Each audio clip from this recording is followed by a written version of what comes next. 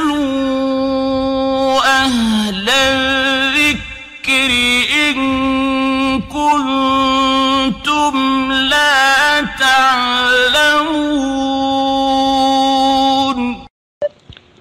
সালাম আলাইকুম রহমতুল্লাহ বরকাত ধন্যবাদ সম্মানিত বোনকে প্রশ্ন করার জন্য আপনি জানতে চেয়েছেন যে রোগীর দোয়া নাকি কবুল হয় এটা কি সাহি এক্ষেত্রে রোগী যদি ভালো ব্যক্তি নাও হয় তাও কি দোয়া কবুল হবে আর কোনো মহিলা কি কোনো মাহারাম না এমন পুরুষ রোগী দেখতে যেতে পারবে?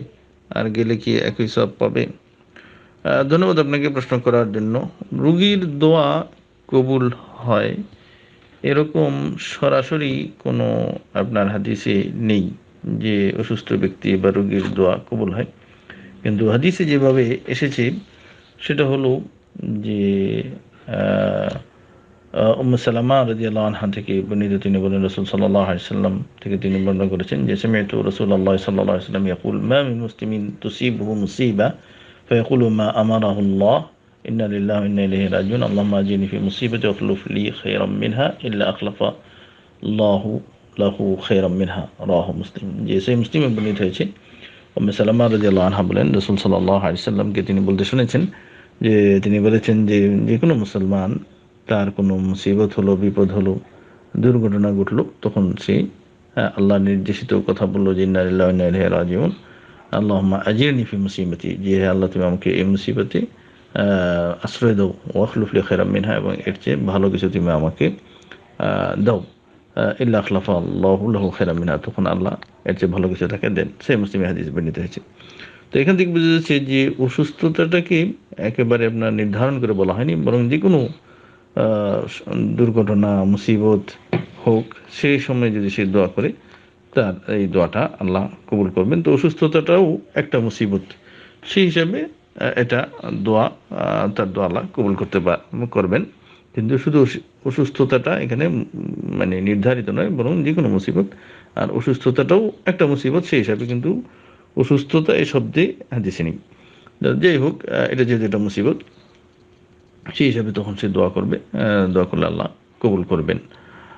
আরেকটা হলো যে রুগীর কাছে গিয়ে দোয়া করা যারা রুগীকে দেখতে গেল তারা তার কাছে গিয়ে দোয়া করা সেটা সেই সময় হ্যাঁ, যারা মানে জিয়ারতে গেল ভিজিটে গেল তাদের দোয়াটাও আল্লাহ কবুল করবেন। এ সম্পর্কেও উম্মা সাল্লামা রাজি আল্লাহ থেকে সেই মুসলিমে হাদিস বর্ণিত হয়েছে। রসুল সাল্লাহ সাল্লাম বলেছেন এদা হাজার তুমুল মারিদা ফকুল খেরা যে যখন তোমরা অসুস্থ ব্যক্তির কাছে যাবে, তখন তোমরা ভালো কথা বলো। ইন্নাল মালাইকাতা ইউআমিনুনা আলা মা তাকুলুন।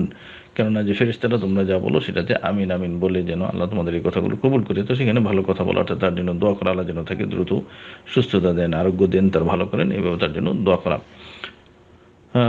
এরপরে মুসালামা রাজি আল্লাহ বলছেন যে, ফালাম্মা মাতা আবু সালামা, আদাইতু রসুল্লাহ সাল্লাহ আলিয়াল্লাম আবু সালামা অর্থাৎ তার স্বামী যখন মারা গেল, তখন তিনি রসুল সাল্লাহ আলিয়াল্লামের কাছে আসলেন। এসে বললেন যে ইন্না আবা সালামা কাদ মাত যে আবু সালামা অর্থাৎ আমার স্বামী সে মারা গেছে।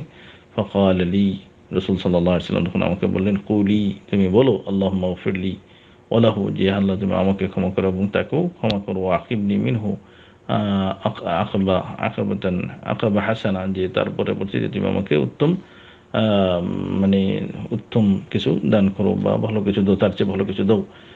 قالت آه، أم سلمة رضي الله عنها বলেন فقلت آه، فعاقبني الله من هو خير لي منه মোহাম্মদ সাল্লাহ সাল্লাম তো আল্লাহ রবুল্লা আলমিন তার চেয়ে অর্থাৎ আবু সালামার চেয়ে আরও যে ভালো তাকে আল্লাহ আমাকে পরবর্তীতে স্বামী হিসেবে দিয়েছেন আর সেটা হলো মোহাম্মদ সাল্লাহ সাল্লাম সেই বুখারির হাদিস বর্ণিত হয়েছে তো তাহলে আপনার এখানে দুটো জিনিস একটা হলো যে রুগী সে মানে রুগী তার দোয়া কবুল হবে। এটা মানে তার একটা মুসিবত হিসাবে, কিন্তু অসুস্থ কথাটা, এটা হাদিসে আসে নেই সরাসরি।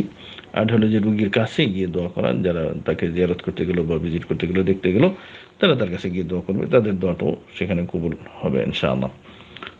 বাকি আপনি যে আরও একটা অংশ আপনার প্রশ্নের, যে কোনো মানে যারা পরপুরুষ তাদের কাছে, যারা মাহারাম নয় পরপুরুষ তাদের কাছে যাওয়া বা তাদেরকে দেখতে যাওয়া না, এটা সবসময় নিষেধ। পরপুরুষদের কাছে যাওয়া সরাসরি সেটা তাকে দেখতে যাওয়া এটা নিষেধ। কিন্তু হয়তো পর্দা রক্ষা করে যেতে পারবে। সে বোরকা পরে গেল তাকে মানে দেখল পর্দা রক্ষা করে তার জন্য দোয়া করল। কিন্তু মনে করেন যে আপনি হয়তো তাকে তাকে দেখলেন, সে হয়তো আপনাকে দেখল না বোরকা- বোরকা- পরার কারণে। তো এটাও নিষেধ। কিন্তু তার জন্য আপনি দোয়া করতে পারেন। যে কোনো জায়গায় বসে আপনি দোয়া করবেন, সেখানে যেতেই হবে, এটা জরুরি না মূলত হলো তার জন্য দোয়া করা। তো এটার জন্য সেখানে যাওয়াটা জরুরি নয়। আর যদি তার কোনো লুক না থাকে বা ওই ধরনের, তাহলে সেটা ভিন্ন কথা। তখন কোনো ব্যবস্থা নিয়ে সেটা ভিন্ন কথা। কিন্তু লুক থাকলে, অন্য লুক থাকলে তাহলে সেটা দরকার নেই। ধন্যবাদ আপনাকে। সালাম আলাইকুম রহমতুল্লাহ।